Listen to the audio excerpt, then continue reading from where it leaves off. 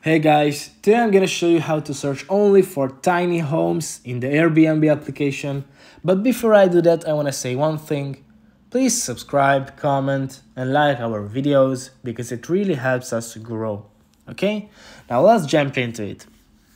As you can see, I'm in the Airbnb application right now. I have um, uh, opened up my profile page, but we're not gonna do anything here today where we're gonna go is that little explore button in the bottom left corner of our screen. It's the search, little search icon. Let's tap on that.